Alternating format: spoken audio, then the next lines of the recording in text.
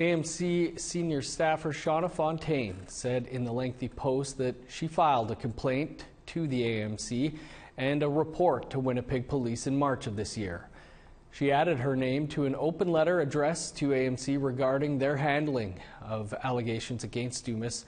She wrote in the post that she does not feel supported by the current process and AMC has not communicated with her or her legal team.